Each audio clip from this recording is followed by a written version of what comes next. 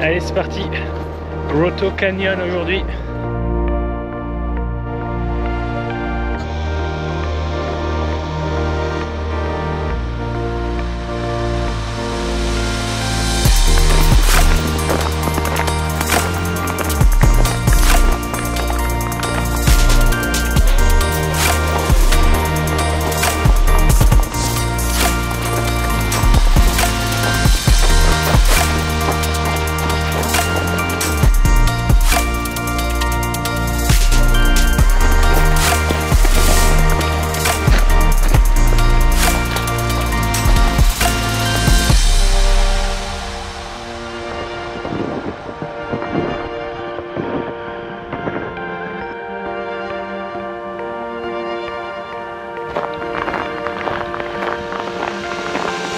Là, on peut voir des pictographes euh, autochtones.